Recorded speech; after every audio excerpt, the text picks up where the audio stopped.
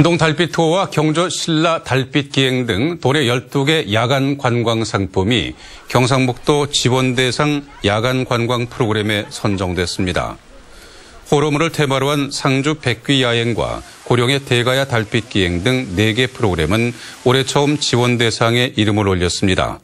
경상북도는 한 곳당 최대 1,500만 원의 사업비를 지원하고 상품별 세부 일정이 겹치지 않게 조정한 뒤 4월부터 운영에 들어갑니다.